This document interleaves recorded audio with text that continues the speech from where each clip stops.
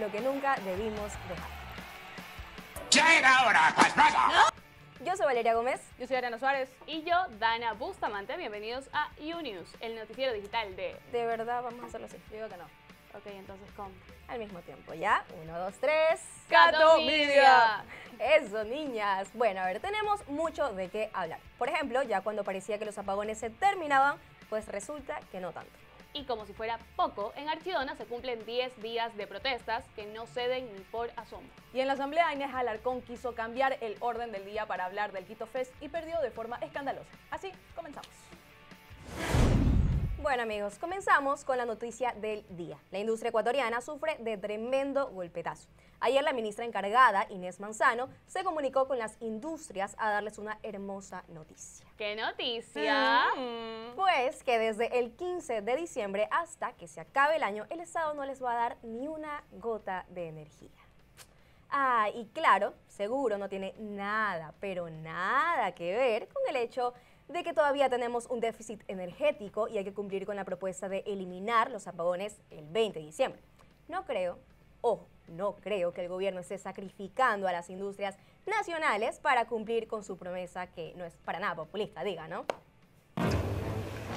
Increíble.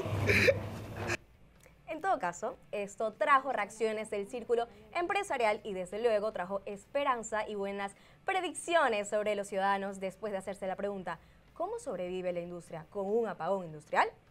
Las industrias, lo decimos siempre, estamos empernados en el país. Significa que estamos aferrados al Ecuador. Significa que hemos sobrevivido gobiernos, terremotos, dictaduras, pandemias, etc.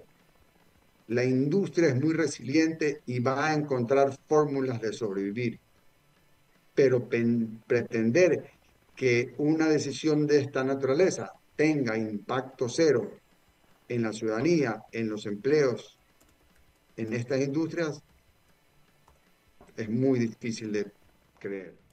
Chuta, la verdad es que escuchándolo ya me dieron ganas hasta de agradecerle a mi jefe uno por ahí, pero por darme, por supuesto, trabajo encima cuando ves que la tasa de desempleo ha estado tan inestable, solo la sensación de que las industrias van a buscar cómo sobrevivir. Tiene ese olorcito a despidos masivos que me hace hasta suspirar en idioma económicamente activo. Pero lo único que queda es esperar que el tema de la luz esté bien controlado y sin errores, claramente.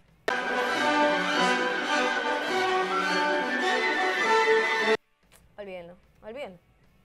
Y si les gusta la Amazonía, pues por allá la cosa también está complicada. El gobierno inició la construcción de una mega cárcel y la semana pasada los habitantes del lugar decidieron protestar debido a que el proyecto se está construyendo a pocos metros de las escuelas locales y sienten que una cárcel de ese tamaño va a disminuir el turismo. Bueno, los días pasaron y hoy ya se cumplen 10. ¿Y qué pasó? Pues el gobierno mandó a sus delegados y bueno, mejor véanlo ustedes mismos.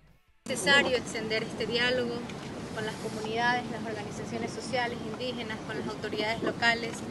Hemos escuchado su sentir. ¿Se escucharon?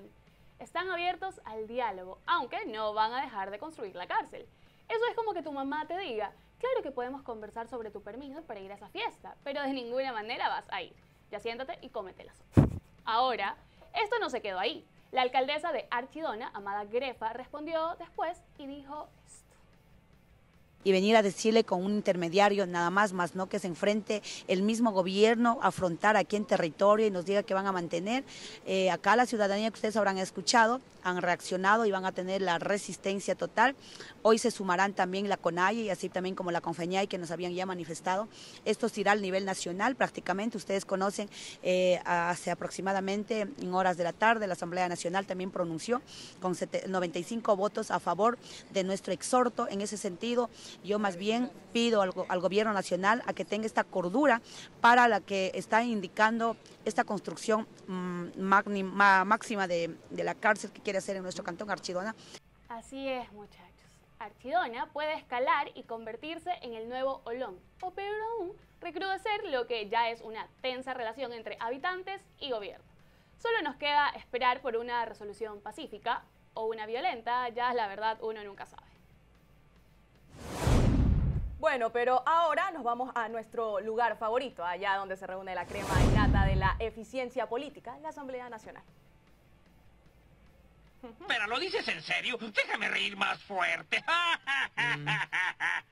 Mi queridísima asambleísta Inés Alarcón ayer pidió a Fiscalía investigar penalmente a los chicos de Mugre Sur por el incidente del cartón colgado. En todo caso, en algo sumamente inesperado que nadie jamás nunca iba a predecir, Inés presentó una petición de cambio de orden del día para tratar este tema. Así es, el día en el que hubo un apagón masivo, se anunció otro apagón industrial de 15 días y Archidona está en conflicto. Un evento artístico es prioridad.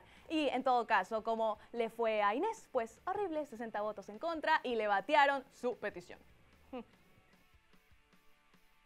Aún te quedan días para hacer pedidos irrelevantes antes de la vacancia legislativa. Uno nunca sabe todo lo que va, puedes hacer desde el legislativo. Nosotros desde este espacio solo pedimos una cosa, enfóquense en lo importante, por favor. ¡Alguien tiene que hacer algo, por favor! Soy...